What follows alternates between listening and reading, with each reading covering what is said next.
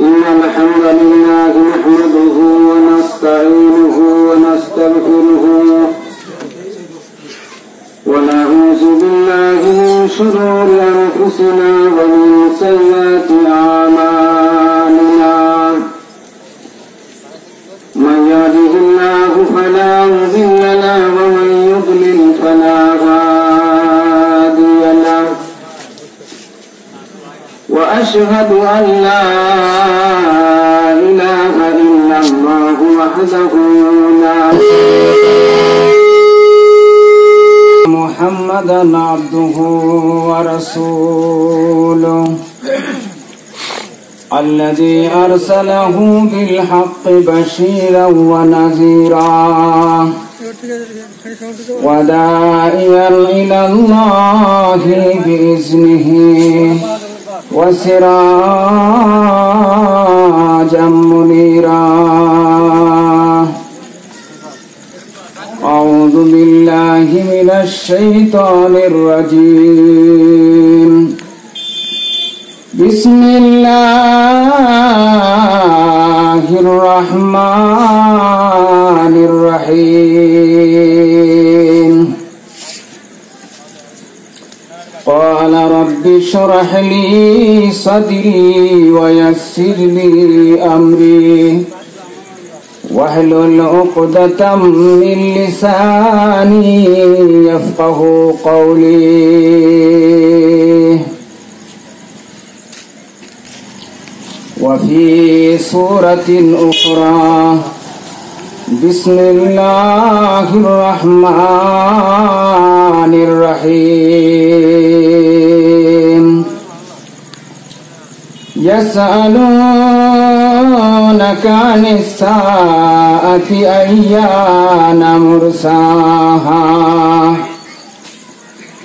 فيما أنت من ذكراها. إلى ربك منتهاها. قال النبي صلى الله عليه وسلم عن عوف بن مالك رضي الله تعالى عنه قال أتيت النبي صلى الله عليه وسلم في غزوة تبوك. وهو في قبة من أدم فقال عدد ستا بين يدي الساعة موتي. ثم فتح بيت المقدس. ثم فتح بيت المقدس.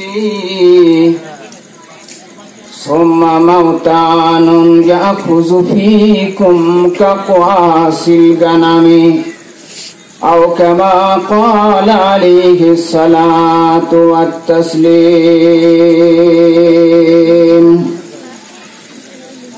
প্রভু আমার বলো তো শুনি প্রভু আমার, বলো তো শুনি। কেন বা এমন কর?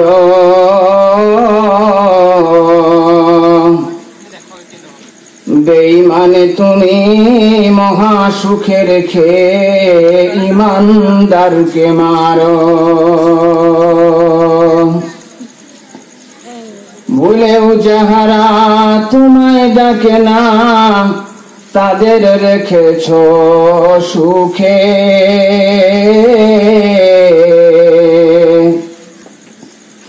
পাঁচবার আমি কপাল ঠেকিয়ে তো বুঝে রয়েছি দুঃখে।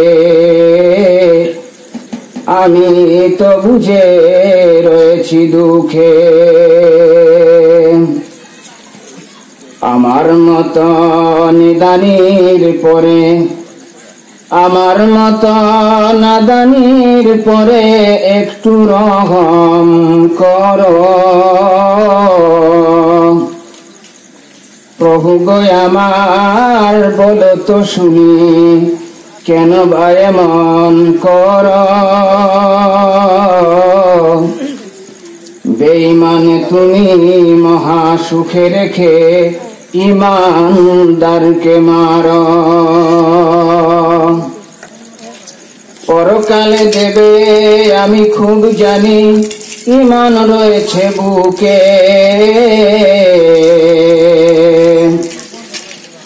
রিক্ত যে আজ বসে আছি আমি, মরছি যে দুঃখে দুঃখে।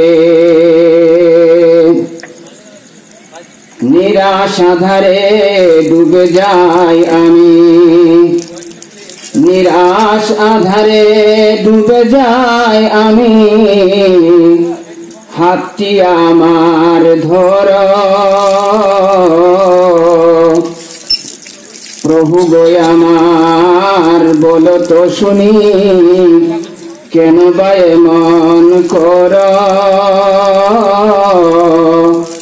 বেইমানে তুমি মহা সুখে রেখে ইমানদারকে মারো। প্রশংসা, আল্লাহরই যা প্রশংসার শেষ নেই এবং সঠিক প্রশংসা করার নিজস্ব কোনো ভাষা নাই। তাই তারই শেখানো ভাষায় সবাই বলি আলহামদুলিল্লাহ। জোরে বলি আলহামদুলিল্লাহ। যে জায়গাগুলো ফাঁকা আছে একটু পূরণ করি। আগে আসুন। জায়গা ফাঁকা আছে, সরে আসুন।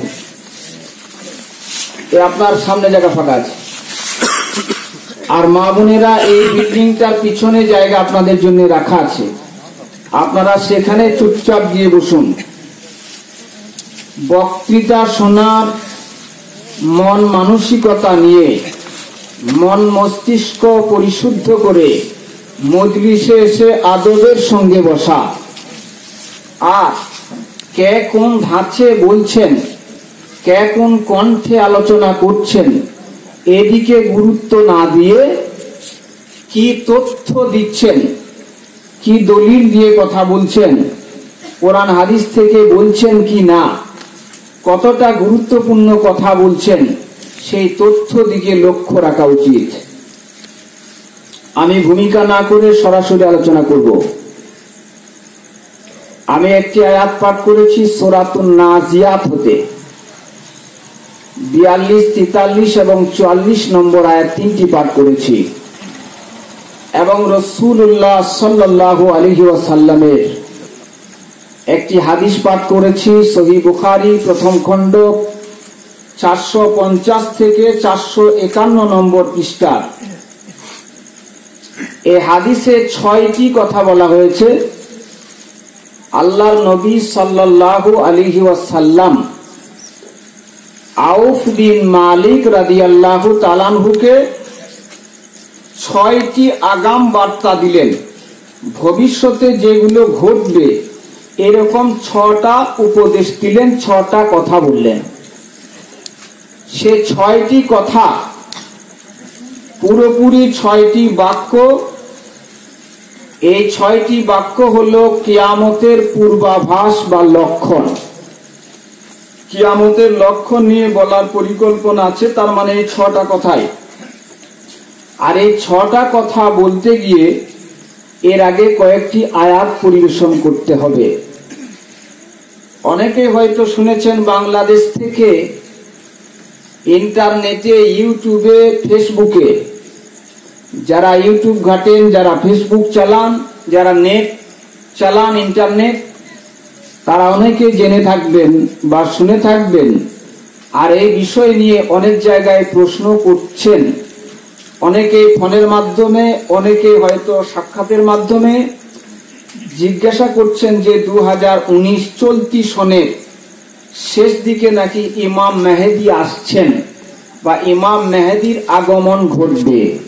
এটা কতখানি সত্য, কতটা সত্য হতে পারে? অথচ আল্লাহর নবী জনাবে মোহাম্মদুর রসুল্লাহ সাল্লাহ আলী সাল্লামকে অনেক লোকে জিজ্ঞাসা করত কিয়ামত সম্পর্কে যে আর রসুল আল্লাহ কিয়ামত কবে হবে? তখন নবী উত্তরে বলতেন, মা আদ লাহা, তুমি কিয়ামতের জন্য কি প্রস্তুত করেছ? তাই কিয়ামতে আশাবাদী হয়ে আছো? তারপরে কোরআন মাজিদের সুরা নাজিয়াতে বিয়াল্লিশ তেতাল্লিশ এবং চুয়াল্লিশ নম্বর আয়তে আল্লাহ তালা বলেন বিসমিল্লাহির রহমানির রহিম يسألونك عن الساعة أيان مرساها হে নবী আপনাকে ওরা জিজ্ঞাসা করে কেয়ামত প্রসঙ্গে সে যে কেয়ামত কখন সংঘটিত হবে?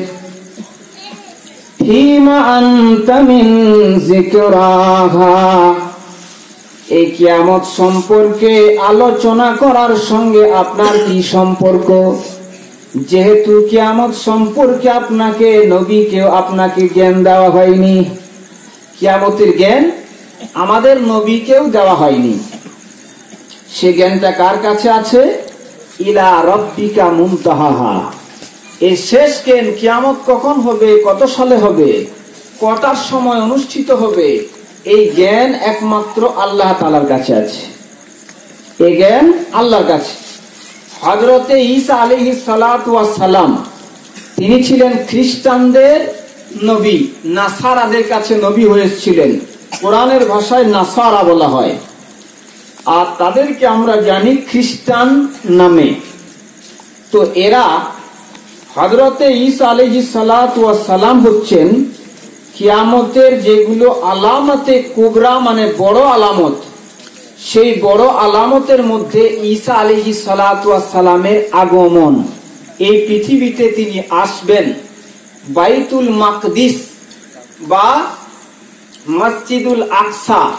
যেটা সিরিয়ায় অবস্থিত, যে মসজিদটা হজরতে সুলাইমান আলহি সালাম তৈরি করেছেন, সেই মসজিদের পূর্ব মিনারে তিনি অবতরণ করবেন, সিঁড়ি সিঁড়ি করে চিল্লাবেন, তাকে সিঁড়ি লাগিয়ে দেওয়া হবে, তার মানে তিনি কিয়ামতের বড় লক্ষণ একটা ঈশা নবীর আগমন। তো সেই নবীর সম্পর্কে আমাদের শেষ নবী সাল্লাহ আলহি ওয়াসাল্লাম বলছেন আমি ধীরে ধীরে বলব, আপনারা ধীর মস্তিষ্কে ঠান্ডা মাথায় বিষয়ের দিকে খেয়াল করবেন, তথ্যের দিকে খেয়াল করবেন। আমাদের শেষ নবীকে যখন সবে মেরাজ করা হলো, মেরাজ পরিভ্রমণ করলেন, তখন নবীজির সঙ্গে সাক্ষাৎ ঘটল, এটা ইমাম আহমদ, ইমাম ইবনু মাজা, ইমাম হাকিম আবদুল্লাহ ইবনে মাসুদ রাজি আল্লাহ তালানহু থেকে বর্ণনা করেছেন।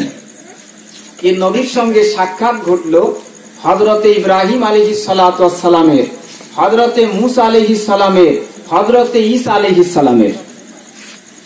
এবারে তাদের আলোচনা হচ্ছিল কিয়ামত প্রসঙ্গে, যে তা কখন ঘটবে। এই তারিখটার ব্যাপারে আলোচনা করতে বলা হলো হজরতে ইব্রাহিম আলী ইসালামকে তিনি উত্তরে বললেন, লা ইলমা লি বিহা। এ ব্যাপারে আমার কোনো জ্ঞান নেই। এই প্রসঙ্গটা আলোচনা করতে বলা হলো হজরতে মুসা আলহি সালামকে। তিনিও ওই একই কথা বললেন যে, এ ব্যাপারে আমার আইডিয়া নেই। আলোচনা রাখা হলো ঈসা নবীর উপরে। হজরতে ঈসা বলছেন এর সম্পর্কে আমার তেমন কিছু জ্ঞান নেই। তবে আমার প্রতিপালক যতটা জানিয়েছেন, ততটা বলছি। দাজ্জালের এই দুনিয়াতে আবির্ভাব হবে। আল্লাহ আমাকে তখন পাঠাবেন। আমার হাতে দুটো কাষ্ঠখণ্ড থাকবে, লাঠি থাকবে। যখন দাজ্জাল আমার দিকে তাকাবে বা আমি তার দিকে তাকাবো, তখন লবণের মতো সে গলে যাবে। এইটুকু জানি, তার বেশি আমার জানা নেই। তাহলে কিয়ামত কত সালে হবে? কত তারিখে হবে, এটা দুনিয়ার কোনো মানুষ জানে না। তবে নবীর কাছে একজন এসেছিল, আগন্তুক মেহমান, আমি একবার বলেছি, হয়তো আপনাদের স্মরণে চলে আসবে। দেখুন, বুখারি মুসলিমের হাদিস। মিসকাত প্রথম খণ্ড, কিতাবুল ইমানের এগারো নম্বর পৃষ্ঠায় শুরু। হজরতে উমর বিন খাত্তা বলছেন যে, আমরা এক সময় বসেছিলাম আল্লাহর নবীর কাছে। হঠাৎ একটা লোক এলো। যে লোকটাকে আমরা কখনো দেখিনি, আমরা কেউ চিনিও না। আমাদের মধ্যে কেউ তাকে চিনে না। লাইউরা আলিহি সাফার, তার শরীরে কোনো সফর করে এসছে, রাস্তা অতিক্রম করে এসছে, তার কোনো নিদর্শন তার পাওয়া যাচ্ছে না। তার মানে তার শরীরে একদম পরিষ্কার, পরিচ্ছন্ন। সাদিদু বিয়াদি সিয়াব, তার পরনের কাপড় ছিল অত্যন্ত সাদা। সাদিদু বিয়াদ সাদিদু সাওয়াদি তার কেশ রাশি ছিল, মাথার চুল এবং দাড়ি ছিল অত্যন্ত কালো। লোকটা আল্লাহর নবীর সামনে বসলেন, যেমন তাসাহুদে বসা হয়। রানের উপরে হাত রেখে নবীকে জিজ্ঞেস করলেন, ইয়া রাসূল আল্লাহ আখবিরনি আনিল ইসলাম। ইসলাম কাকে বলে আমাকে জানান? আমাকে অবগত করুন, ইসলাম কাকে বলে? একটা হলো ইসলাম শব্দের শাব্দিক অর্থ মানে আত্মসমর্পণ করা। ইসলাম শব্দের, তারপরে আপনার ইস্তিলাহি শব্দ। এটা কাকে বলে? এইটা নবীকে জিজ্ঞেস করা হলো, ইসলাম কাকে বলে? শরীয়তের পরিভাষায় ইসলাম কাকে বলে? একটা আবিধানিক অর্থ আছে, একটা সারি অর্থ আছে, ইস্তিলাহি অর্থ যেটা বলা হয়। তো আল্লাহর নবী সাল্লাম বললেন যে আন্তঃসাদা আল্লাহ ইলাহা ইল্লাল্লাহ। তুমি এই কথা সাক্ষী দাও যে, আল্লাহ ছাড়া কোনো উপাস্য নাই। আর মোহাম্মদ সাল্লাহ সাল্লাম আল্লাহ রসুল। তোমার নামাজ প্রতিষ্ঠা করা জাকাত প্রদান করা, রমজানে রোজাব্রত পালন করা, আর ক্ষমতা থাকলে হজ করা, এইগুলিকে মিলিয়ে নাম হলো ইসলাম। তাহলে ইসলামের মূল ভিত হলো এই পাঁচটা পিলারের উপরে। একটা হলো কলেমার সাক্ষ্য দেওয়া, দ্বিতীয় হলো নামাজ, তৃতীয় হলো জাকাত চতুর্থ নম্বর হলো রোজা, পঞ্চম নম্বরে হলো কি? হজ। এই পাঁচটা। তখন এই উত্তরটা শুনে সে আগন্তুক লোকটা বলছে সাদ্দাক্তা আপনি কারেক্ট উত্তর দিয়েছেন। তখন সাহাবিরা বলছেন, তার এই প্রশ্ন করা এবং নবীর মুখ থেকে উত্তর শুনে যে আবার কারেক্ট বলছেন বা সত্যতার সাক্ষ্য দিচ্ছেন, তাহলে নিশ্চয় আমরা অবাক হয়ে যাচ্ছিলাম যে লোকটার নবীর থেকে বোধ হয় বেশি জানা আছে। ওর জানা আছে, জানার পরেও প্রশ্ন করছে। এরপরে দ্বিতীয় প্রশ্ন করলেন আকবিরিনী আনিল ইমান হ্যাঁ নবী, আমাকে বলুন ইমান কাকে বলে? ইমানের শাব্দিক অর্থ না ইমানের সংজ্ঞা চাচ্ছেন। তখন নবীজি বললেন আন্তু মিনা বিল্লাহ। এক নম্বরে তুমি আল্লাহর উপরে বিশ্বাস রাখো। ওয়া মালাইকাতিহি আল্লাহর ফেরিস্তাদের উপরে বিশ্বাস রাখা। ওয়া কুতুবিহি, আসমানি যত কিতাব আছে, তওরাত, ইনজিল, জবুর, কোরআন, এইগুলির উপরে বিশ্বাস রাখো। ওয়া রুসুলিহি, আল্লাহ যত নবী পয়গম্বর দুনিয়াতে পাঠিয়েছিলেন, সব ছিল আল্লাহ প্রেরিত নবী, এর উপরে ইমান রাখা। ওয়াল আখির এবং পরকালে কিয়ামত হবে এইটা বিশ্বাস করা।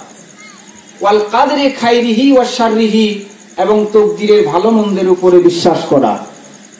এইগুলিকে মিলিয়ে নাম হলো ইমান বুঝা গেল? এরপরে প্রশ্ন করলেন, আখবির নেই, আমাকে বলুন, আনিল ইহসান, ইখলাস কাকে বলে, ইহসান কাকে বলে? নবীজি উত্তরে বললেন তারাহু। ফাইল্লাম তারাহু তুমি এমন ভাবে আল্লাহর উপাসনা করো, ইবাদত করো, তাকে ডাকো, যেন তুমি তাকে দেখছ, এই মনে করে। যদি তুমি দেখছ এটা মনে না হয়, তাহলে মনে করো যে আল্লাহ আমায় দেখছেন। এর নাম হলো এহসান। এরপরে প্রশ্ন করলেন, আকবিরনি আনি সাহ কিয়ামত কখন হবে? কিয়ামত সম্পর্কে বলুন। তখন নবীজি কি বললেন? মাল মাসউল আনহা বি আলামা মিনাস সাইল যাকে প্রশ্ন করা হচ্ছে, তিনি প্রশ্নকারীর চেয়ে বেশি কিছু জানেন না। তার মানে কিয়ামত সম্পর্কে আমার আইডিয়া নেই। এটা কে বলছেন? নবীজি বলছেন। তাহলে নবী সাল্লাম পর্যন্ত জানেন না আমাদের শেষ নবী? যিনি নবী কুলের সর্দার। তিনি বলছেন, আমার জানা নেই যে কিয়ামত কখন সংগঠিত হবে। তারপরে প্রশ্ন করলেন, আখবিরনি আন আমারাতিহা? হে নবী, কিয়ামতের পূর্বাভাস বা লক্ষণ সম্পর্কে বলুন। আল্লাহর নবী বললেন আন্তালিদাল আমাতু রব্বাতাহা? যখন তুমি দেখবে একজন কৃত দাসী, তার মনিবকে জন্ম দিচ্ছে। একজন কেনা বাঁধি বা দাসী, তার মনিবকে জন্ম দিচ্ছে। এটা কীভাবে? হয়তো যুদ্ধে গিয়েছে, কয়েদিদেরকে ধরে এনেছে। সে কয়েদিকে বাঁধি হিসাবে তখন রাখতো, রাখা হতো। এইবারে সে কয়েদিদের সাথে সে দাসীর সঙ্গে সঙ্গম করা হতো, তৎকালীন বৈধ ছিল। সে মনিব যে ঘরের মালিক, যে রাজা, যে গৃহকর্তা, ওই লন্ডিটার সঙ্গে সঙ্গম করার ফলে তার পেটে সে মনিবের ঔরসজাত সন্তান এসেছে। সে ভূমিষ্ঠ হলো। এবার এইদিকে পিতা মারা গিয়েছে। ছেলেটা যখন বড় হলো, ছেলেটা কি হবে? এই বাপের উত্তরাধিকারী হবে, তার মানে এই মনিব হবে। আর এই ছেলে তাকে ওই লন্ডি করে রাখতো, দাসী করে রাখতো, তার মানে তার মাকে সে দাসী করে রাখত। এটা একটা ব্যাখ্যা। অনেক রকম ব্যাখ্যা করা হয়েছে। দ্বিতীয় ব্যাখ্যা হচ্ছে এই যে সন্তানেরা যখন তার পিতা মাতাকে ভালো নজরে দেখবে না, চোখ গরম করে ঝাড়কি দিয়ে অভদ্রতার সঙ্গে মন্দ আচরণ করবে, তাদেরকে ধমক দিয়ে কথা বলবে। তখন কিয়ামতের আলামত। আর আজকে দুর্ভাগ্যজনক ভাবে এটা অনেক জায়গায় দেখা যায়। বাপ যদি একটা কথা জিজ্ঞেস করে, কোথায় যাবে বাবা? বলে, আমি যাচ্ছি একটা একটু প্রয়োজন আছে চললাম বলে, কোথায় যাচ্ছ বাপ, একটু বলে যাও। ফের বাবু বকো না তো। এরকম বলে কিনা এরকম অনেকেই বলে। তো পিতা মাতাকে চোখ গরম করে, চোখ লাল করে মুড করে কথা বলা যাবে না, নম্রতার সঙ্গে কথা বলো। যেটা আল্লাহ পাক পবিত্র কোরআনে জানিয়েছে। আন্তালিদাল আমাতু হুফাতাল আল্লাতা। আর যখন তুমি দেখবে যার পরনে কাপড় জুটতো না, পায়ে জুতো জুটতো না, তারা মানুষের কাছে ভিক্ষা বৃত্তি করে দিন তারা যাপন করত, পেট ভরত, তাদের রুজি রুটির সরবরাহ করত। রিয়া আশা এ তারা ছাগলে রাখালি করে বেড়াতো। তারা উচ্চ উচ্চ বিল্ডিং করবে, রাজপ্রাসাদ করবে, বড় বড় বাংলো করে তারা অহংকার করবে, প্রতিদ্বন্দ্বিতা করবে কম্পিটিশন করবে। তখন জানবে কিয়ামতের লক্ষণ। এই কথাটা বলে মেহমান যিনি এসেছিলেন, তিনি চলে গেলেন। আল্লাহ রসুল বললেন, দেখো তো লোকটাকে ডেকে আনো। সাহবাইকের আমরা পিছনে গেলেন, কিন্তু তা সাক্ষাৎ পেলেন না। আল্লাহ রসুল কেসে বলছেন, ইয়া রসুল আল্লাহ তার দেখা পেলাম না। আল্লাহর নবী সাল্লাহ সাল্লাম বললেন, তিনি কোনো ফেরেস্তা ছিলেন না। তিনি কোনো মানুষ ছিলেন না। তিনি ফেরেস্তা ছিলেন। হজরতে জিবিল আতাকুম তোমাদের কাছে এসেছিলেন। ইউআল্লিমুকুম দীনাকুম। তোমাদেরকে ধর্ম, জ্ঞান, শিক্ষা দিতে এসেছিলেন। তিনি প্রশ্ন করলেন, আমি অ্যান্সার দিলাম, এই প্রশ্ন করা উত্তর শোনার মাধ্যমে তোমরা শুনেছ, তোমাদের জ্ঞান এসেছে। দিন সম্পর্কে তোমাদেরকে আইডিয়া দেওয়ার জন্য ছিলেন এখানে প্রশ্ন, যিনি প্রশ্ন করছেন তিনি কে? যিনি প্রশ্ন করে গেলেন কে? হজরতে জিবরিল। আল্লাহর ফেরিস্তা এসেছিলেন জিবরিল। প্রশ্ন করছেন কাকে? দু জাহানের নবীকে। নবীকে যখন প্রশ্ন করলেন, সব অ্যান্সার দিলেন, একটা দিতে পারলেন না, কোনটা? কিয়ামত কখন হবে? তো যেহেতু হজরতে জিবরিল শিক্ষক হিসেবে এসেছিলেন মানুষকে শিক্ষা দেওয়ার জন্য, তো টিচার যদি ছাত্রকে কিছু প্রশ্ন করে, আর ছাত্র যদি উত্তর না দিতে পারে, তাহলে শিক্ষকের এটাই শুভনীয়। যে তিনি সেটা বলে দেবেন। কিন্তু তিনি বলে গেলেন না। জিবরিলও বলে গেলেন না। তাহলে এখানে কি বোঝা যায়? হজরতে জিবরিলও কিয়ামত সম্পর্কে কোনো জ্ঞান নাই। সুহান আল্লাহ আল্লাহর নবী জনাবে মোহাম্মদুর রসুল্লাহ সাল্লাল্লাহু আলী ওয়াসাল্লাম। হযরতে আউফ বিন মালিককে বলছেন, ওগো আউফ বিন মালিক তুমি শোনো, ছয়টা জিনিস গুনে রেখে দাও কিয়ামতের আগে।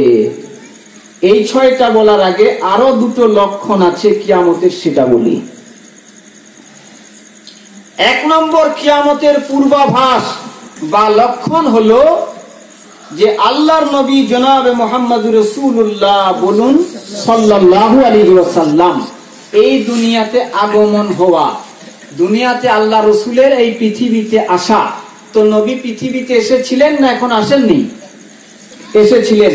তার মানে এই আলামতটাও চলে এসেছে, হয়ে গেছে। এটা সহি বোখারিতে পাঁচবার এসেছে দ্বিতীয় খণ্ডে। একবার এসেছে সাতশো পঁয়ত্রিশ পৃষ্ঠা কিতাব উত্তাফসির কিতাব তালাক এসছে সাতশো নিরানব্বই পৃষ্ঠা।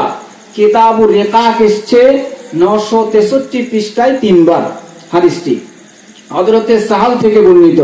তিনি বলছেন قال قال رسول الله صلى الله عليه وسلم بعثت أنا والساعة كهاتين আল্লাহর নবী বললেন আমাকে কিয়ামতের এতটুকু পূর্বে আল্লাহ আমায় পাঠিয়েছেন কতটুকু কাহাতাইন এইরকম ওয়ায়ুশিরু বিইসবাইহে নবী দুটো আঙ্গুল দিয়ে দেখালেন ফায়ামুদ্দুহুমা, এই দুটোকে উঁচু করে ধরলেন। এই রকম করে কিয়ামতকে আর আমাকে এইভাবে পাঠিয়েছে। তাহলে আল্লাহর নবী পৃথিবীতে আসার কিয়ামত খুব একটা দূরত্ব নেই যা বোঝা যাচ্ছে। তার মানে কিয়ামতের নিকটবর্তী অবস্থায় আমাকে পাঠানো হয়েছে। যেহেতু আল্লাহ রসুল শেষ নবী, তারপর আর কোনো নবী নেই। আল্লাহ রসুল একটা উদাহরণ দিতে গিয়ে বলছেন সুন্দর একটা মনোরম বিল্ডিং। দেখে মানুষ হতবাক, চারিপাশ দেখছে আর মানুষ হতবাক হচ্ছে। এত সুন্দর বিল্ডিংটা, কত সুন্দর মিস্ত্রি তৈরি করেছে। কিন্তু তারা দেখতে দেখতে তাদের নজরে পড়ল একটা ইট মাত্র যদি হতো, তাহলে পরিপূর্ণ বিল্ডিংটা হয়ে যেত। একটা ইটের খুঁটো রয়েছে। আমাদের শেষ নবী বলছেন, আমি হলাম সেই ইটটা এই পুরো ইমারতের আমি যে ইটটা প্রবেশ করলে পুরো ইমারতটা পরিপূর্ণ হবে, তা আমি শেষ নবী, আমি এসে নবুয়তের ক্রমধারা সমাপ্তি করেছি। তাই আল্লাহ পাক পবিত্র কোরআনের তেত্রিশ নম্বর সোরা সোরা আহাজাবে চল্লিশ নম্বর আয়াতে বলেন, মা কানা মুহাম্মাদুন আবা আহাদিম মির রিজালিকুম। ولكن رسول الله وخاتم النبيين আল্লাহ পাক বলেন মোহাম্মদ সাল্লাল্লাহু আলাইহি ওয়াসাল্লাম তোমাদের কোন পুরুষের পিতা নন তিনি হলেন আল্লাহর রাসূল এবং শেষ নবী তারপরে কোন নবী আর আসবে না তাহলে নবী এই দুনিয়াতে আসা হয়ে গেছে এরপরে আল্লাহর দ্বিতীয় নম্বর কিয়ামতের পূর্বাভাস হলো এই। আরবের মুশরিকরা আল্লাহর নবী সাল্লাল্লাহু আলাইহি ওয়াসাল্লামের কাছে সে প্রশ্ন করল, ইয়া রাসূলুল্লাহ, আপনি এমন কিছু বিরাট ধরনের লক্ষণ দেখান যাতে করে আমরা নবী বলে বিশ্বাস করতে পারি? আল্লাহর নবী তখন চাঁদের দিকে ইশারা করে দিলেন, চাঁদ চাঁদ খণ্ডিত হয়ে গেল। বলবেন মোল সাহেব, এটা জয়ী ফাদিস তো? আল্লাহ তালা কোরআনে সুরা কামার এক নম্বর আয়তে বলছেন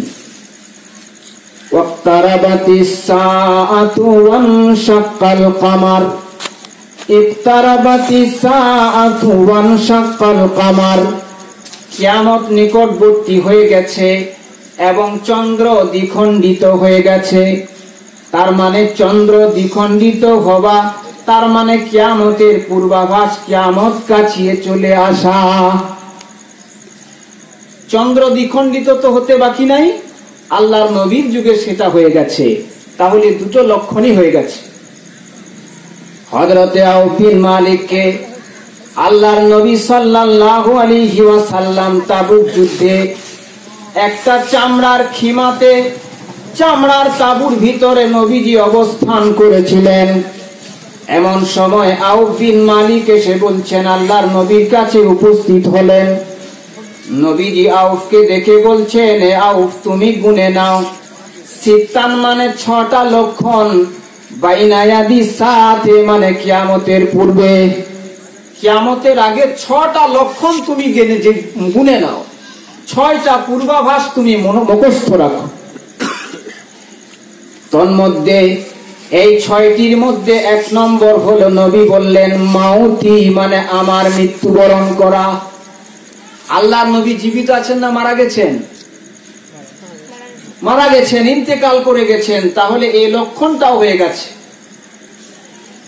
ছয়টার মধ্যে এক নম্বর হলো, মাউতি মানে আমার মৃত্যুবরণ করা। ইহকাল পরিত্যাগ করে পরলোকে গমন করা। নবীজি পরলোক গমন করেছেন, ইন্তেকাল করে গেছেন। জামে তিমিজি দ্বিতীয় খণ্ড দুইশো তিন নম্বর পৃষ্ঠায়। হাদিসটি শহীদ আনাস বিন মালিক বলছেন, লাম্মা কান আল ইয়াউমুল্লাযী দাখালা ফীহি রাসূলুল্লাহ সাল্লাল্লাহু আলাইহি ওয়াসাল্লাম আল মাদিনাতা আজা মিনহা কুল্লা শাই নবী যেদিন মক্কাবাসীদের, মুশরিকদের অত্যাচার সহ্য না করতে পেরে তিনি ছলছলে চোখে মাতৃভূমি স্বর্গাদপি গরিয়সী ত্যাগ করে কাফের বেঈমানদের উচ্চার সহ্য করতে না পেরে তিনি যখন আড়াইশো মাইল দূর অতিক্রম করে মদিনায় পাড়ি দিলেন, মদিনায় যখন প্রবেশ করলেন, মদিনার লোকের আনন্দে আটখানা হয়ে গেল, আজা মিনহা কুল্লা সায়ে নবীজির ইমানি নূরে, নবীজির ইমানি আলোক ছটায় যেন গোটা মদিনা আলোকিত হয়ে গেল, উজ্জ্বল হয়ে গেল। মদিনাবাসীরা নবীর আনন্দে বলেছিল, তারা কবিতা পাঠ করছিল আর তারা আনন্দ করছিল। তলাল বদর আলাইনা মিন সানিয়াতিল বিদাই। তলাল বদর আলাইনা মিন সানিয়াতিল বিদাই وجب الشكر علينا ما دعا لله داعي সানিয়াতুল পাহাড় থেকে যেন মদিনাতে আমাদের কাছে পূর্ণিমার চাঞ্চা ধরা দিয়েছে নবীকে পেয়ে তারা কত খুশি এদের নাম হলো আনসার। সার্বিকভাবে সাহায্যকারী। চতুর্দিক থেকে তারা যখন গেল, আল্লাহর নবী সাহাবাই আমরা তারা নিজেদের ঘর, বাড়ি অস্থাবর অস্থাবর সবকিছু ছেড়ে বিবি বাল বাচ্চা পরিত্যাগ করে যারা ইসলাম গ্রহণ করেছিল, তারা হিজরত করে চলে গেল মদিনায় শুধু ইমান আনার জন্য, আল্লাহর নবীর মহাব্বতে। মদিরার আনসারিরা বলেছিল, আমার দুটো বিবি আছে ভাই, একটাকে আমি তালাক দিয়ে আপনার সঙ্গে বিবাহ দিয়ে দেব। কেউ পারবে? দুটো বিবি আছে, তার মধ্যে একটাকে তালাক দিয়ে আরেকজনের সঙ্গে বিয়ে দিতে পারবে? তোমার যেটা ইচ্ছা নিয়ে নাও। কত ত্যাগ শিকার আমার দশ বিঘা বাগান আছে, জমি আছে, অর্ধেক তোমার নামে দিয়ে দিলাম, অর্ধেক থাকল আমার, তোমরা চিন্তা করো না। গোটা মদিনা যেন উজ্জ্বল হয়ে গেল আল্লাহর নবীর শুভাগমনে। সেখানে যাওয়াতে মদিনা যেন উজ্জ্বল হয়ে গেল নবীর ইমানি আলোক ছটায় ওয়ালাম্মা কানাল ইয়াউমুল্লাযী মাতা ফীহে। আর আল্লাহর নবী যেদিন মদিনায় ইন্তেকাল করলেন, আদা আমিন হা কুল্লা শাইইন, তখন মদিনার সব কিছু যেন নিভে গেল, প্রদীপ যেন নিভে গেল, হেলোজিন যেন নিভে গেল আলো যেন নিষ্প্রভ হয়ে গেল, সবকিছু যেন অন্ধকার হয়ে গেল। একটা বাড়িতে একটা গৃহকর্তা, যিনি মালিক যখন মারা যান, তখন তার বিবি বলে, বিবিকে জিজ্ঞেস করে, বলে, কেমন আছো বোন? তখন তার বিবি বলবে, আমি গৃহ শূন্য হয়ে গেছি। বলে কি না? একজন বুড়ো বেঁচে আছে, বুড়ি মারা গেছে, কেমন আছেন? বলে, আমি গৃহ শূন্য হয়ে গেছি, তার মানে গোটা ঘরটাই শূন্য। ফ্রিজ আছে, আলমারি আছে, সব আছে সব কিছু আছে। ছপ্পর আছে, কোনো জিনিসের অভাব নেই, টাকা, পয়সা সব কিছু আছে। তা বলে গৃহ শূন্য হয়ে গেছে। নবীজি যখন মদিনায় ইন্তেকাল করলেন, তারা যেন একরকম গৃহ শূন্য হয়ে গেল। আমার নবী ওয়াফাত হলো, আমার নবীর ওয়াফাত হলো, যেদিন মদিনায় ত্রিভুবনে উঠল মাতমকে কে দেখবি আবু বাকার কেঁদে সারা। ওমর হলেন পাগল পারা আবু বাকার কেঁদে সারা। ওমর হলেন পাগল পারা ওসমান আলী নবীর শোকে, ওসমান আলী নবীর শোকে বোবা হইয়া যায়। আমার নবীর অফাত হলো যেদিন মদিনায়। মা ফাতে মা বসে কাঁদে। প্রিয় নবীর অনুরাগে। হাসান হুসান চোখের জলে ধুলাতে লোটায়। আমার নবীর হলো যেদিন মদিনায়। আল্লাহ পাক সূরাতুল আম্বিয়া 21 নম্বর সূরা 34 এবং 35 নম্বর আয়তে বলছেন وما جعلنا لبشر من قبلك الخلد أفإن مت فهم الخالدون হে নবী আপনার পূর্বে কোন মানুষকে আমি চিরঞ্জীবী করে রাখি নাই তাদের আয়ু বাড়াতে বাড়াতে কিয়ামত পর্যন্ত আয়ু দেই নাই আফা ইমিত্তা ফাহুমুল খালিদুন আপনার মৃত্যু হবে আর তারা জিজুক জিও হয়ে থাকবে, অমর হয়ে থাকবে, এটা কখনো নয়। আপনার যেমন মৃত্যু হচ্ছে, তাদেরও মৃত্যু হয়েছে। আপনার মৃত্যু যেমন হবে, তাদেরও মৃত্যু হয়ে গেছে, কেউ বেঁচে নাই। আজ জাতি তাদের শরীরের লোমগুলো ছিল তারের মতো শক্ত, তাদের ক্ষমতা ছিল প্রবল তারা বড় বড় পাহাড়গুলোকে কেটে উচ্চ উচ্চ পিলার তৈরি করত, মিনার তৈরি করত, বিল্ডিং তৈরি করত, তারা অহংকার করত। তাদের অহংকার সব ধুলার সঙ্গে মিটে গেছে, তারা পাউডার হয়ে গেছে, মাটির সঙ্গে মিশে গেছে। কেউ নাই। দুনিয়াতে জীবিত থাকার জন্য চিরস্থায়ী হয়ে কেউ আসে না। সব থেকে বড় উপদেশ হলো মৃত্যুকে স্মরণ করা। কুল্লু নাফসিন যায়িকাতুল মত সূরা আম্বিয়ার 35 নম্বর প্রত্যেক প্রাণী মৃত্যুর স্বাদ গ্রহণ করবে। প্রত্যেক প্রাণী মৃত্যুর স্বাদ গ্রহণ করবে। এটা আমরা জানি, যার প্রাণ আছে তাকে মৃত্যু বরণ করতে হবে। স্যার জগদীশ চন্দ্র বসু বলেছেন, উদ্ভিদেরও প্রাণ আছে। যেগুলো গাছ গাছাড়ি যেগুলো আমরা ডাল কাটি, তাদের নাকি যন্ত্রণা হয়।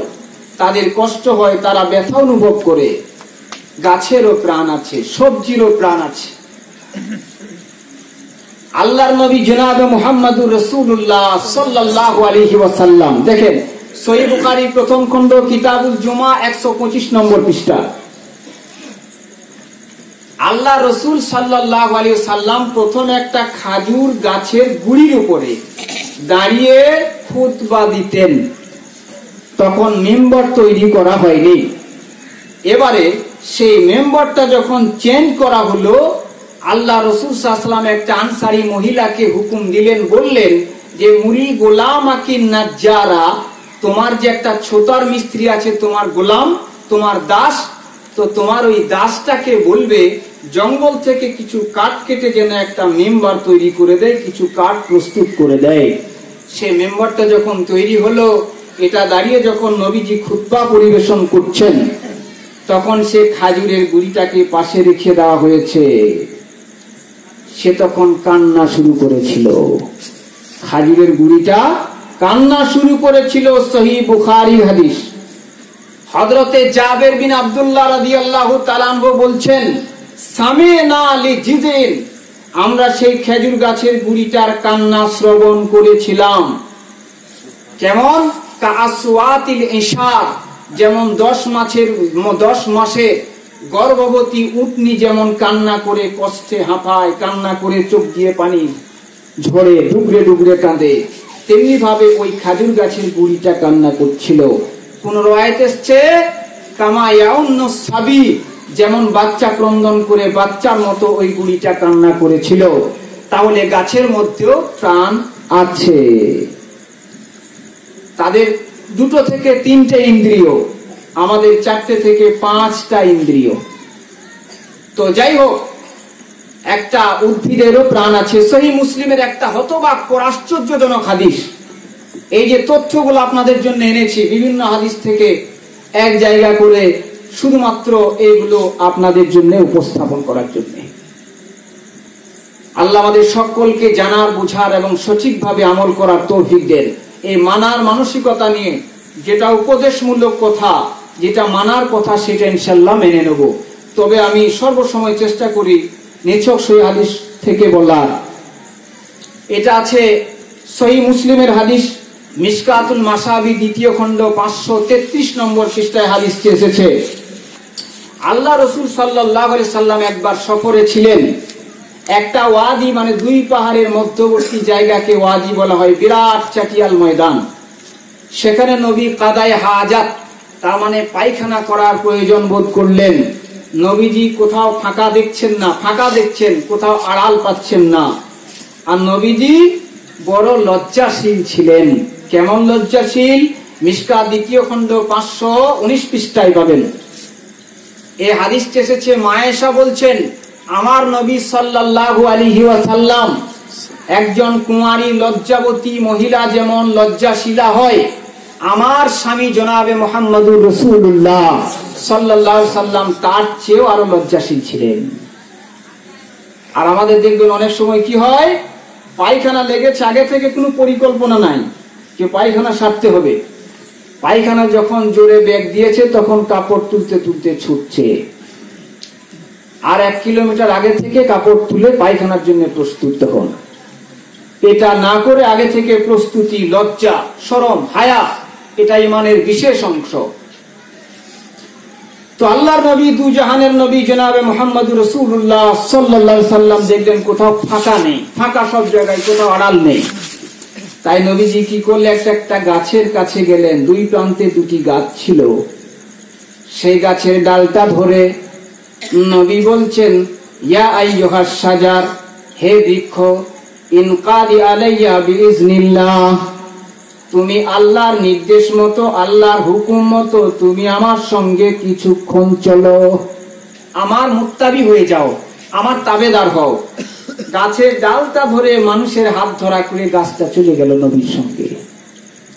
নবী এক জায়গায় দাঁড় করিয়ে দিলেন, আরেকটা গাছকে ওইভাবে ধরে একই কথা বললেন, সে গাছটাও নবীর সঙ্গে হাঁটতে লাগল।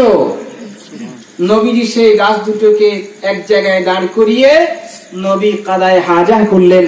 তার মানে পায়খানা সারার পর নবী যখন ফিরে আসছেন, গাছ দুটোকে দুই জায়গায় করে দিলেন। তারা ঠিক নিজের জায়গায় চলে এলো।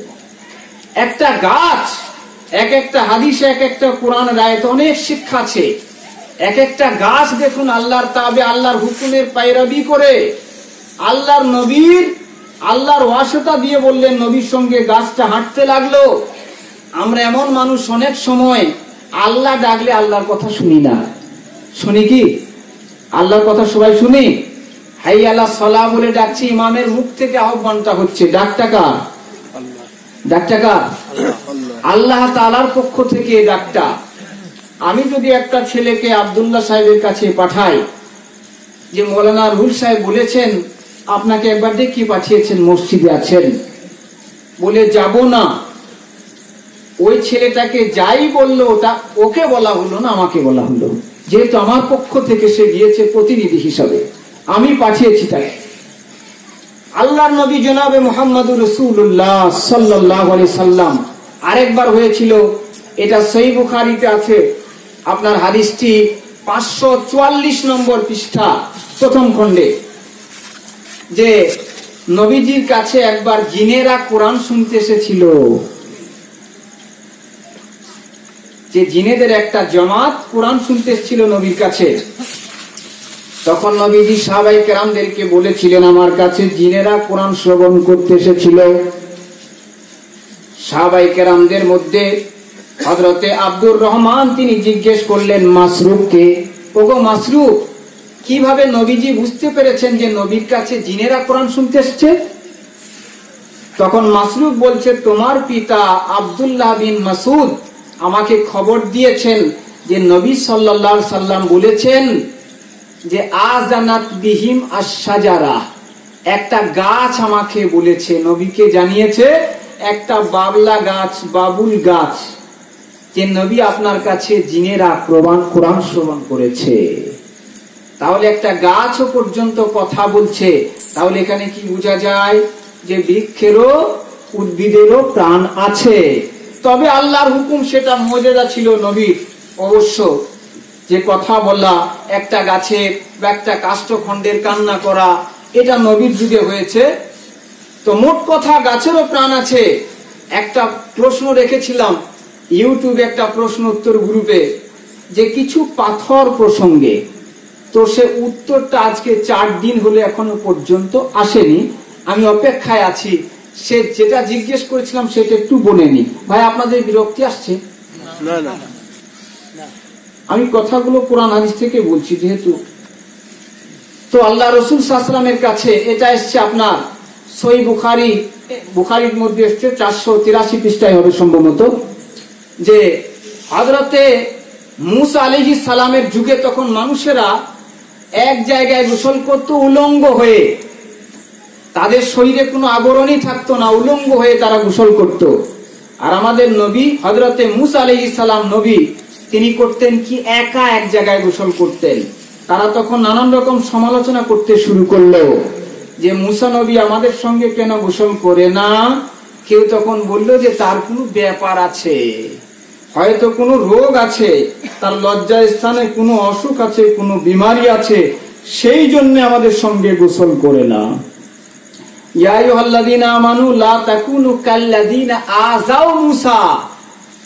হে ইমানদাররা, তোমরা তাদের মতো হইও না যারা মুসা নবীকে কষ্ট দিয়েছিল এইভাবে। ওদের মতো তোমরা হইও না। হযরতে মুসা সালাম একা এক জায়গায় গোসল করছেন, কাপড় রেখে দিয়েছেন পাথরের উপরে। হযরতে মুসা সালাম উঠে যখন কাপড়টা নিতে যাবেন, পাথরটা তখন কাপড় সহ নিয়ে ছুটতে শুরু করেছে। হজরতে মুসা বলছে, ইয়া হাজার সৌদি ইয়া হাজার সৌদি হে পাথর, আমার কাপড় আমার কাপড় আমার কাপড়। এই বলে বলে ছুটছেন পাথরের পিছনে পিছনে। আর পাথরটা যখন ছুটতে শুরু করেছে, যখন বানি ইসরাইলদের জামাতের ভিতরে পাথরটা গিয়ে তাদের মাঝখানে দাঁড়িয়ে গেল হজরতে মুসা সালাম কাপড়টা নিলেন আর পাথরটাকে আঘাত করলেন। কি বোঝা গেল? তাহলে পাথরের মধ্যে কি কোনো শক্তি আছে? না। কখনোই না, পাথরের মধ্যে কোনো শক্তি নাই। এটা ছিল হজরতে মুসা সালামের জন্য আল্লাহর পক্ষ থেকে। এটা হয়েছে। আবার কিছু পাথর আছে। একটা মক্কায় পাথর ছিল। শুনলে অবাক লাগবে। মক্কায় একটা পাথর ছিল। আল্লাহর নবী আমাদের শেষ নবীকে সালাম দিত। কি দিত? সালাম করত। একটা পাথর যখনই নবীজি পেরিয়ে যেতেন, পাথরটা সালাম করত। নবীজিকে আসসালাম আলাইকুম বলতো। আল্লাহ পাক পবিত্র কোরআনের দ্বিতীয় নম্বর সোরা সোরা বাকারার চুয়াত্তর নম্বর আয়তে বলছেন, সুম্মা কাসাত কুলুবুকুম মিন বাদি যালিকা হিজারা। এত কিছু দেখার পর, এত ঘটনা ঘটে যাওয়ার পর, তোমরা শিক্ষা নিতে পারলে না, তোমাদের অন্তরগুলো পাষাণ হয়ে গেছে, অথবা পাথরের চেয়ে আরও কঠিন হয়ে গেছে। ওয়ামিনাল হিজারাতি লামা ইয়াতাফাজ্জারু মিনহুল আনহার পাথরের মধ্যে কিছু পাথর আছে, যার ভিতর থেকে নহর প্রবাহিত হয়ে যায়, পানি বেরিয়ে এসে। ওয়াইন্না মিনহা লামা মিনহুল মা এমন কিছু পাথর আছে যেগুলো আল্লাহর ভয়ে বিদীর্ণ হয়ে যায়, ফেটে যায়। তার ভাতর থেকে পানি নির্গত হয়। ওয়াইন্না মিনহা লামা ইয়াহবিতু মিন খাশিয়াতিল্লাহ এমন কিছু পাথর আছে, আকাশ চুম্বি পাহাড় থেকে আল্লাহর ভয়ে গড়তে গড়তে তারা জমিনে পড়ে যায়। মিন খাসিয়াতিল্লাহ একটা পাথর পর্যন্ত আল্লাহকে ভয় করে। তাহলে কি বোঝা যায়, পাথরের মধ্যে ভীতি শক্তি আছে, ভয় করা? তারপরে এই যে পাথর একটা নবীকে সালাম দেওয়া তাই বলে বলছি না আমি যে পাথরের মধ্যে প্রাণ আছে, না। তবে এইগুলো অবাক লাগে। তবে যার প্রাণ আছে যে কথা বলছিলাম হজরত মোহাম্মদ সাসলামের ইন্তেকাল হয়ে গেছে, তিনি পরলোক গমন করেছেন, তিনি দুনিয়াতে আর নাই। এই লক্ষণটা হয়ে গেছে। হ্যাঁ? আচ্ছা আচ্ছা। না, বক্তা শেষ হয়ে হয়ে গেছে মাশাআল্লাহ। তো আল্লাহ রসুল সাসলামের ইন্তেকাল হয়ে গেছে। এরপরে নবী বললেন, ওই যে ছয়টা কথা নবী বললেন, এক নম্বর হলো মহতি আমার মৃত্যুবরণ করা। দ্বিতীয় নম্বর হলো বাইতুল মাকদিস। বাইতুল মাকদিস বা বাইতুল মুকাদ্দাস বা মসজিদুল আকসা। এটা ফাতা হবে, মুসলমানদের হাতে আসবে, এটা বিজয় হবে। এটা কিয়ামতের একটা লক্ষণ। এটা এই ফতে মক্কা ফাটা হবে বাইতুল মাকদিস বা মোকাদ্দাসটা। এই বাইতুল মুকাদ্দাসের আগে বললাম হজরতে সুলাইমান আলী সালামের নির্মাণ করা এই মসজিদটা। তবে সেই বুখারিতে আল্লাহ নবীকে জিজ্ঞেস করলে, ইয়া রাসূল আল্লাহ সর্বপ্রথম দুনিয়ার সর্বপ্রথম মসজিদ কোনটা? নবীজি বললেন, কাবা, বাইতুল্লাহ, মসজিদুল হারাম, এটা সর্বপ্রথম। বলে, তারপরে কোনটা? বলে তারপরে হচ্ছে মসজিদুল আকসা মানে সিরিয়ার ওই জেরুজালেমের মসজিদটা। বলে এই দুটোর মধ্যে কত দিনের ব্যবধান? বললেন চল্লিশ বছর। তাহলে কাবাটা যদি ইব্রাহিম নবীর নির্মাণ হয় আর সুলাইমান নবীর যদি নির্মাণ হয় বাইতুল মুকাদ্দাসটা, তাহলে দুইজনের মাঝে তো অনেক ডিস্টেন্স অনেক ডিফারেন্স রয়েছে। তাহলে চল্লিশ বছরের মধ্যে কীভাবে হলো? ব্যাখ্যাকাররা বলেছেন, আদম আলী সালাম প্রথমে ভিত স্থাপন করেন বাইতুল্লাহ কাবা শরীফের তারপরে তিনি সফর করেন জেরুজালেমের দিকে। সেখানে এক জায়গায় নামাজ পড়েছিলেন। ওটাকে বাইতুল মোকাদ্দাসের ভিত রেখে দিয়েছিলেন। তারপর ইব্রাহিম নবীর যুগে তিনি কাবাটা ভালোভাবে নির্মাণ করলেন, ইসমাইল আর ইব্রাহিম। আর দ্বিতীয় বাইতুল মাকতিস বা বাইতুল মুকাদ্দাসটা সুলাইমান নবী তার জমানায় নির্মাণ করলেন। সুলাইমানকে আল্লাহ তাবে করে দিয়েছিল, জিন দেও পরি, মানুষ পর্যন্ত তাবে ছিল। পাখিদের ভাষা বুঝতেন, হাওয়া পর্যন্ত তার তাবে ছিল। পিপিলিকার পর্যন্ত ভাষা বুঝতেন, তেনাকে আল্লাহ ক্ষমতা দিয়েছিলেন, তিনি তৈরি করতেন। ওই যে দাউদ আলী সালাম থেকে ধরে নিয়ে হজরতে সুলাইমান পর্যন্ত বড় বড় ড্যাগ বড় বড় চৌবাচ্চা বড় বড় বিল্ডিং, বড় বড় মসজিদ নির্মাণ করাতেন জিনদেরকে নিয়ে।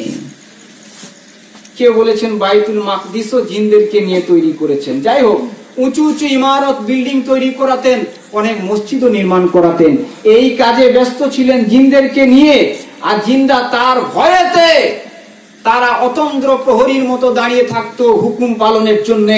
হজরতে সুলাইমান যা বলতেন তারা সঙ্গে সঙ্গে তারা পালন করত। এইভাবে কাজ করে যাচ্ছে। নবী সুলাইমান একটা লাঠি ধরে দাঁড়িয়ে আছেন। আপনারা আগেও হয়তো শুনে থাকবেন আলেমদের, আগেকার আলেমদের মুখে যে নবী সুলাইমানের ইন্তেকাল হয়ে গেছে আর সেই লাঠিটা ভর দিয়ে দাঁড়িয়ে আছে।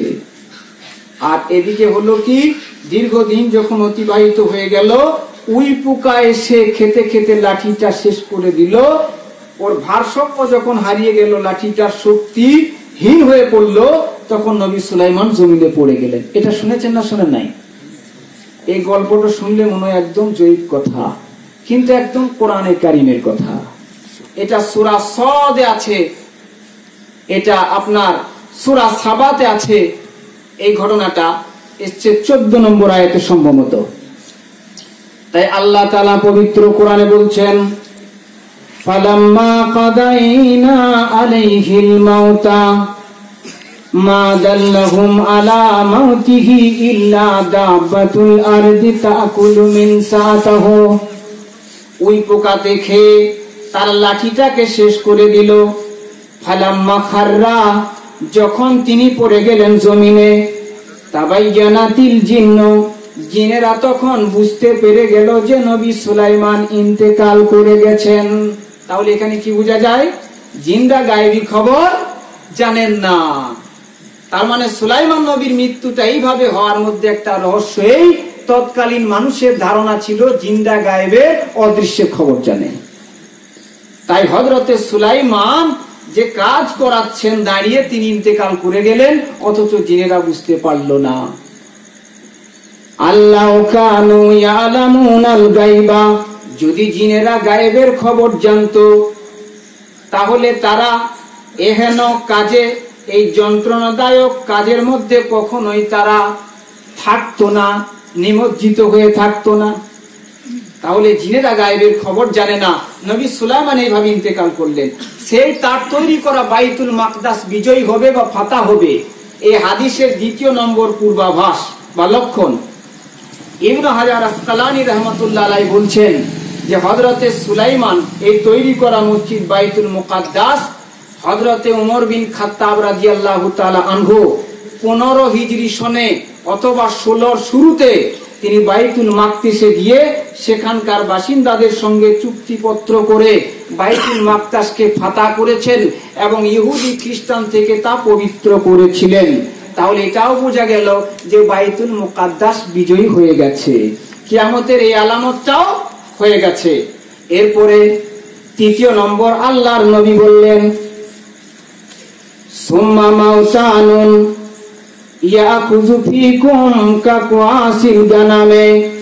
তারপরে মানুষের বেশি বেশি মরণ ঘটবে, মানুষ হঠাৎ হঠাৎ মরতে থাকবে, যখন তখন মানুষ মারা যাবে। তার মানে তাউনে আমওয়াস হবে ব্যাখ্যাকাররা বলেছেন। আমওয়াস একটা জায়গার নাম। ফিলিস্তিনের একটি শহরের নাম হলো আমওয়াস। সেই জায়গাতে মহামারী বা প্লেগ রোগ আসবে, যাতে বহু মানুষ মারা যাবে। তবে ইবনু হাজার আসকালানি রহমতুল্লাহ বলছেন যে এটা হজরতে এটা হয়েছিল আপনার অষ্টম হিজরি সনে।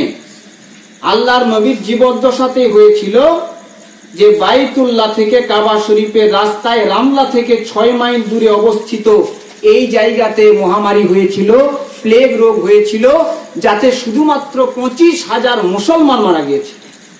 এই মুসিবতে হজরতে আবদুল্লাহ বিন আমির বিন জার্রাহ রাজি আল্লাহ তালাহ শহীদ হয়েছিলেন।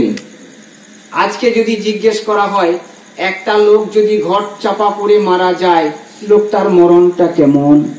কেউ জিজ্ঞেস করে মরনা কেউ বজ্রঘাতে যদি মারা যায়, তার মরণটা কেমন? কেউ জিজ্ঞেস করে যে আগুনে পুড়ে কেউ যদি মারা যায়, নিজে থেকে পুড়ে নয়। কোনো কারণে হয়তো কারখানায় আগুন ধরে গেছে, কোথাও দাবানল জ্বলেছে, কোনো ঘরে আগুন লেগে গেছে, কোনো লোক পুড়ে মারা গেছে। এদের হুকুম কি? আল্লাহর নবী সাল্লাম বলছেন, আশ-শাহাদাতু সাবউন সিওয়াল কাতলে ফি সাবিলিল্লাহ। সুনানে আবু দ্বিতীয় খণ্ড 443 পৃষ্ঠায় আছে। আল্লাহর পথে যারা যুদ্ধ করে শহীদ হয়ে যায় তারা বাদ দিয়ে আরও সাত প্রকার শহীদ আছে। এক নম্বর কি? আল মাতুন ও শহীদুন, যারা মহামারী বা প্লেগ রোগে আক্রান্ত হয়ে মারা যায়। যেমন এই বাইতুল, আপনার তাউনে আমওয়াস। প্লেগ রোগে যারা মারা গিয়েছিল, পঁচিশ হাজার মুসলমান ওরা শহীদ। ওয়াল গারিকু শহীদুন, যারা পানিতে ডুবে মারা যায়, তারা শহীদ। ও সাহিবু জাতিল জন্বে শহীদুন যারা এই ঘাড়ে বেডশুল ঘা নাকি বলে, এই ঘাড়ে পাঁজরায় ঘায়ে যদি কেউ মারা যায় আক্রান্ত হয়ে, সে শহীদ। ওয়াল মাবতুন ও শহীদুন, পেটের অসুখে আক্রান্ত হয়ে কেউ যদি মৃত্যুবরণ করে, সে শহীদ। ও সাহিবুল হারিকে শহীদুন, আর কেউ যদি আগুনে পুড়ে জ্বলে মারা যায়, সেও শহীদ। ওয়া সাহিবু ওয়া সাহিবুল হাদামে আর কেউ যদি দেওয়াল চাপা পড়ে মারা যায়, গাড়ি চাপা পড়ে মারা যায়, চাপা পড়ে কেউ যদি মারা যায়, তাহলে সে শহীদ। ওয়াল মারাতু আল্লাতি তামুতু বিজুমাইন শাহিদুন। আর ওই মহিলা যে পেটে বাচ্চা ভূমিষ্ঠ হওয়ার প্রসব হতে গিয়ে মৃত্যুবরণ করে, সেও শহীদ। এবারে প্রশ্ন করবেন যে এরা তো শহীদ। যারা আল্লাহর পথে শহীদ হয়ে যায়, তাদেরকে গোসল দিতে হয় না। ওই রক্ত মাখা কাপড়ে তাকে কবরস্থ করা হয়। তাহলে এরা যে শহীদ হয়ে গেল, এদেরকে তো গোসল দেওয়া যাবে না। এরা আসল শহীদ নয়, এরা শহীদের মর্যাদা পাবে। এরা কি হবে? শহীদের মর্যাদা পাবে। তাই আল্লাহর নবী বললেন, তাউনে আমুয়াস হবে অনেক মানুষ সেখানে মারা যাবে। এরপরে নবী বলছেন, সোম্মা ইস্তিফা আজাতুল মাল। মানুষের মাল ধন প্রচুর পরিমাণে হবে। মানুষকে জাকাত দিতে গেলে জাকাত গ্রহণ করার মতো কোনো লোককে পাওয়া যাবে না। মানুষ জাকাত নেবে না। আল্লাহর নবী দু জাহানের নবী, জনাবে মোহাম্মদুর রাসূলুল্লাহ সাল্লাল্লাহু আলাইহি সাল্লাম বলেছেন, যেটা আছে সহি বুখারী, দ্বিতীয় খণ্ড এক হাজার চুয়ান্ন পৃষ্ঠা, মুসলিম প্রথম খণ্ড তিনশো ছাব্বিশ নম্বর পৃষ্ঠাতে আল্লাহর নবী বলছেন, আবু হুরায়রা থেকে বর্ণিত, আল্লাহর নবী বললেন, লা ওগো আবু হুরাইরা কেয়ামত অতদিন পর্যন্ত সংগঠিত হবে না। হাত্তা ইয়াসুরা ফি কুমুল মাল, যতদিন তোমাদের মাঝে মাল অ্যাভেলেবেল না হয়ে যাবে, সব মানুষ যতক্ষণ ধনী না হয়ে যাবে ফায়াফি বহু পরিমাণে মাল হবে।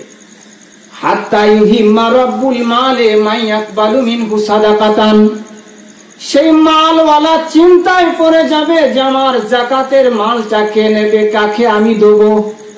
এরকম সাবিদের যুগে হয়েছে।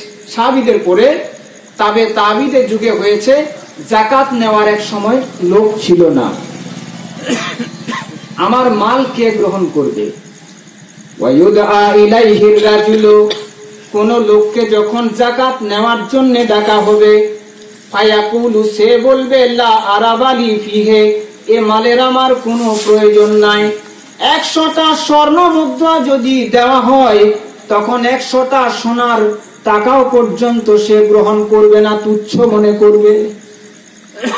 কি অবস্থা? এই অবস্থা গিয়েছে। এরপরে এটা কোনো সময়ের জন্য সীমাবদ্ধ নয়। এরপরেও আসতে পারে, তারপরেও আসতে পারে। হজরত ইমাম মেহেদি ঈসা আলাইহিস সালামের যুগে আসবে, ইনসাফের যোগ, মানুষ ধনী হবে, শান্তি থাকবে, মানুষের মধ্যে অর্থকরী বেশি হবে, ফসল উৎপন্ন বেশি হবে। আজকে টাকা ছাড়া মানুষ কল্পনাই করতে পারে না। টাকা ছাড়া একটা পা ফেলতে পারে না। টাকা যে মানুষের কত প্রয়োজন, তাহলে কি রকম সিচুয়েশন তৈরি হবে কি রকম পরিবেশ তৈরি হবে, যে মানুষ জাকাতের মালটা নিতে চাইবে না। এখন কত মুসাফির এসে প্যাক খুলে দেখাচ্ছে যে দয়া করে আমাকে কিছু সাহায্য করবেন, আমি অপারেশন করব। দয়া করে দু দশ টাকা করে দেবেন। মানুষ টাকার কাঙ্গাল এখনও আছে। তো কথাই বলে, একটা কে দেখছিলাম আপনার ইউটিউবে একে চন্দ্র দুইয়ে পক্ষ টাকাই মানুষের জীবনের লক্ষ্য। তিনে নেত্র, চারে বেদ টাকাই মানুষের বাড়ায় ভেদ। পাঁচে বান, ছয়ে ঋতু। টাকার কাছে সবাই নিচু। সাতে সমুদ্র, আটে অষ্টবসু। টাকায় মানুষকে বানায় পশু। নয়ে গ্রহ, দশে দিক। টাকা থাকলেই সব ঠিক। টাকা ছাড়া মানুষ কিছু ভাবতেই পারে না। আল্লাহর নবী সাল্লাম আর একটা হাদিস বলি সহি মুসলিম। এটা প্রথম খণ্ডে এসছে, তিনশো ছাব্বিশ নম্বর পৃষ্ঠাতে হাদিস এসছে। হজরতে আবু হুরায়রা রাদিয়াল্লাহু তাআলাহু বললেন যে আল্লাহর নবী বলেছেন, লা তাকুমুস সা কিয়ামত ততদিন পর্যন্ত কিয়ামত কায়েম হবে না। তাকিউল আরজ মিন আকবাদিহা, তাকিউল আরজ মিন আকবাদি, তাকিউল আরজ আফলাজা কাবিদিহা আমসাল আল উস্তুওয়ানে মিনাজ জাহাবি ওয়াল ফিজ্জা। এমন একটা সময় আসছে যখন এই জমিন নিজের কলিজা থেকে বড় বড় পিলারের মতো, থাম্বার মতো, সোনা এবং রূপের পিলারগুলো বের করে দিবে, জমিন থেকে বেরিয়ে যাবে। সোনার পিলার, বড় বড় খাম্বা, থাম, বেরিয়ে আসবে। রূপর পিলার বেরিয়ে আসবে। তখন কি হবে? আল্লাহর নবী, দয়ার নবী বলেন অলায়াজি উল কাতিল। যে মানুষকে হত্যাকারী, একজন হত্যাকারী তখন আসবে আর বলবে হাই রে মাল, হাজা কাতাল তো, এই মালের জন্য আমি কত মানুষকে না হত্যা করেছিলাম। ওয়াদি উল কাতিউ রক্ত রক্ত সম্পর্ক ছেদনকারীও আসবে যে আত্মীয়তা রক্ষা করে না এই রকম লোক তখন আসবে। আর এসে বলবে হাই আফসোস, এই মালের জন্য আমি আমার বোন ছেড়েছি, এই মালের জন্য আমি আমার ভাই ছেড়েছি, এই মালের জন্য পিতা মাতা ছেড়েছি। কতই না রক্ত সম্পর্কের ব্যক্তিদেরকে এই মালের জন্য আমি পরিত্যাগ করে দিয়েছিলাম। ওয়াজি উসারিকো একজন চোর তখন আসবে চোর এসে বলবে, ফি হাজা কুতি আতিয়াদি এই মালের জন্য আমার হাত কাটা হয়েছিল এক সময়। সোম্মা ইউদা আওনাহু তারপরে মাল নেওয়ার জন্য তাদেরকে আহ্বান করা হবে। ফালাইয়া খুজুনা মিনহু শাইআ, সেই মাল থেকে তারা কিঞ্চিত পরিমাণ মাল গ্রহণ করবে না। চিন্তা করেছেন? সোনার পিলার, রূপোর পিলার, তাও মানুষ গ্রহণ করবে না। এমন একটা সময় আসছে। যাক, আল্লাহ আমাদের জানা, সকলকে বোঝা এবং সঠিকভাবে কোরআন, হাদিস মানার দেন। অনেক সময় হয়ে গেল।